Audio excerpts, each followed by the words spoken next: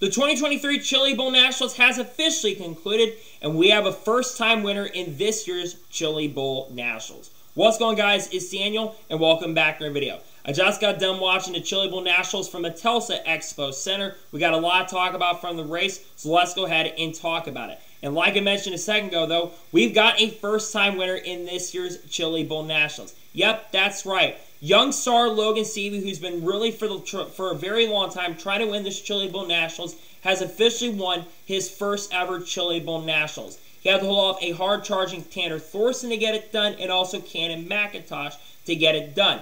Logan definitely had the best car, in my opinion, from really start to finish. Yes, Cannon McIntosh and Tanner Thorson did have really strong cars as well in this race. But Logan Seavey's car was just so good. Near the end of the race, it really became as kind of where you're going to have to bump somebody out of the way if you're going to win. Because it kind of became a bottom group racetrack to where it was extremely difficult to pass. Even the Highline kind of got really hard in working. It really worked earlier in the night, but I guess with the track prep and stuff, it kind of made the race kind of a bottom feeder race, unfortunately, and it did affect the outcome of the race. But like I said, though, going back to Logan Seavey, he's got his first ever Chili Bowl Nationals win. So congratulations to him.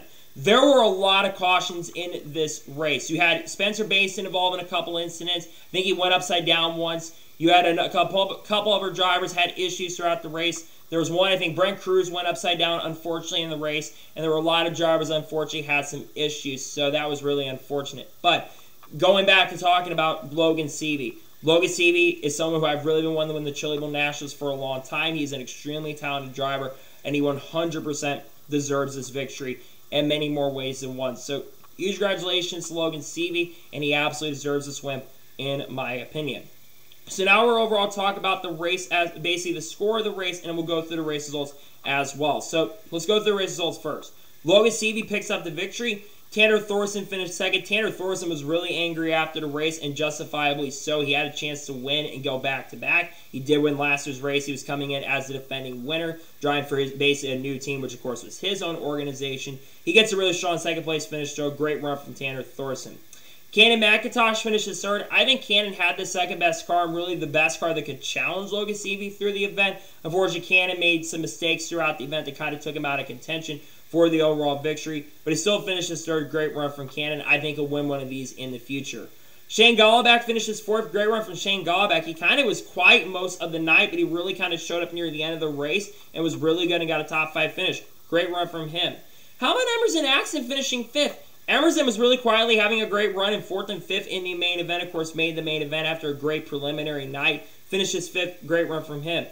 How about Kyle Jones finishing sixth? Kyle Jones finished 16th Basically started 16th actually at the beginning of the race and drove all the way up to 6th. Imagine had a lot more time. He could have been a threat against Logan Seavey, but he finished 6th. Great run from him. Uh, seventh place for Mitchell Moles. Mitchell Moles had a pretty good run. Seventh place, a great run in the main event. Trey Marcham, who for the first time in 13 years made his first ever A main, he finishes 8th. Great run from him. How about Tim Buckwalter, who started 23rd in tonight's race? He finishes ninth. Great run from him. And Justin Grant was kind of quiet. I thought he was getting more of a factor this year for this race. He finishes in 10th. Tim McCreadie, who started last in the race, who also has won this event back in 2006, he finishes 11th. Kevin Thomas Jr. finishes in 12th. Good run for him.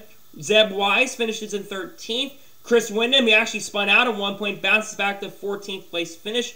Daison Pursley, who's had incredible road to recovery, he made the A main after really strong runs in the C and the B mains. He finishes in 15th. Chase McDermott, who actually won, I believe, the second B main, he finishes in 16th, and he actually wrecked at one point. Thomas Meseraull finishes in 17th. Jade Avedisian, who basically in her first ever run in the Chili Bowl Nationals, got all the way into the A main and at only 16 years old, which is extremely impressive. She's someone I think is going to be one to watch for years to come. Great run for her. She finishes 18th. Ryan Timms, after spinning, unfortunately, finishes in 19th.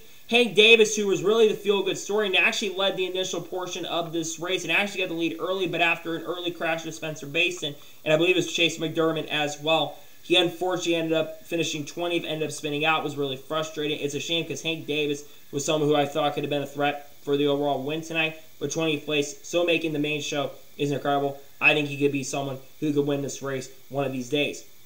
Uh, Rico Abreu finished 21st. Rico was actually really a big factor at the beginning, and he was actually running third at one point. Unfortunately, Rico made a couple mistakes that kind of dropped him back, and then unfortunately, on the last lap of the race, the initial last lap of the race, before they made it a two-lap shootout near the end of the event, Rico unfortunately ended up spinning out and causing a caution. Uh, Kaylee Bryson finishes in set 22nd. I thought she was getting more of a factor in the main event. She does finish 22nd, though. Good to see her once again make the main. Spencer Bayston, after crashing on near the end of the race, he finishes 23rd and finishing 24th in last place after going upside down is Brent Crews. So now so I'll talk about the overall race as a whole and give you my score on tonight's Chili Bowl Nationals. Overall, I was not able to watch the full Chili Bowl Nationals, but I was able to watch the last couple mains of the event. Uh, and I will have to say that the last couple mains, the B mains, I thought were really, really good. The B mains are really, really great racing. Really short races that I thought were really strong. The 20 lap races were very, very good. Great racing. Those were definitely 9 out of 10 races, 100%. The A main I didn't think was as good as the B main, and it's just me. Kind of felt like a lot of the race kind of a bottom group racetrack. Yes, it did widen out at points, but it seems like people at points when they're trying to widen out the racetrack, they were making mistakes. Like the racing definitely was really, really good compared to other series, especially, and I thought the race is definitely good for sure. And I think it definitely was better than last year's race for sure. But it wasn't as good as other years I watched, but I still thought it was still a really solid race. And he had a really good finish near the end uh, as well. We thought it was going to be a Class A battle between Tanner Thorson and it really, Tanner Thorson put on up a good showing, but though Seavey just had a better car and it was very difficult to pass. My score of tonight's Chili Bowl Nationals event overall, I would say, is a 9 out of 10. I want to see a little more side by side and that kind of stuff. It's kind of difficult, especially with midget racing, but it's good to see the race is still very, very solid regardless, and he still had a pretty good race, in my opinion, in this year's Chili Bowl Nationals. I now kind of want to transition talking about getting the track prep prepared and stuff, and I probably have some dirt racing comment fans coming in the comment section of this video. I'm going to be honest with you guys. Yes, I understand it takes a lot of time for them to, to get the track prepped and get the track ready and stuff. But it took a long time for the track to get prepped and stuff. Again, I understand you want to get the track prepared and they want to get the track done as quick as possible. But same token, same time, I think the D main has started basically six hours prior to when the race finished at like 6 o'clock. And that's kind of a little bit unacceptable in my opinion. I hope that they can find a way to get the track dried, or well, the track prepared a little bit quicker. But yeah, again, at the same token, same time though, you do want to have the track re really good to go for the drivers so that they can race. So I get people being frustrated about that, and I saw social media backlash for sure. That's one reason why a lot of people don't uh, tune in the Chili Bowl as much frequently. Don't get me wrong, I'm still a big fan of the Chili Bowl, and regardless of how long it takes to prep the track or not, I still want to go to the Chili Bowl one day. In fact, I really would love to go to the main Chili Bowl event next year. I just hope that they can find a way to get the track prepared and prepped a little bit quicker going forward. Because if they can do that, I think that'd be really, really good for the Chili Bowl, and it really can make this event better and stuff. I think how they did the FloRacing stuff was really, really good this year. We can get a full year subscription for the main event, which I think was really, really cool. I just think there's things that they can do for the event overall. There was a lot of positives. The commentary team was really, really strong this year, and I thought it was a very enjoyable broadcast from what I was able to see this year. So, regardless, I was able to enjoy the event, and I really did enjoy the event. So, that is going to be it for tonight's short Chili Bowl Nationals race review. I want to thank you guys for watching. Please like, subscribe to the channel, notifications on so be notified when a video does go live on my channel. Follow me on Twitter, Facebook, and Instagram, and support me on Patreon as well. Let's go below over that and combo your thoughts below on tonight's race. What are your thoughts on tonight's Chili Bowl? Let me know below. Let me know your score in the comments below. And congratulate Logan Seavey on picking up his first ever Chili Bowl Nationals victory after working on it for a few years. Let me know in the comments below. Later today on the channel, since technically it's past midnight here on at Central Standard Time, there will be a 2023 NASCAR paint schemes video dropping on the channel. Tomorrow there'll be a NASCAR news video dropping on the channel, and then on um, Tuesday, of course, we'll have that Travis Pastrana report coming out. We got a lot of other stories we're going to be discussing on the channel here that I think you're going to be really, really excited about as we get close to the start of the NASCAR Cup Series season. And also, we've got a lot of special videos on the way before the beginning of 2023.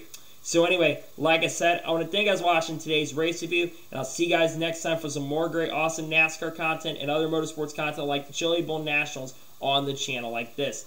Take care, everybody.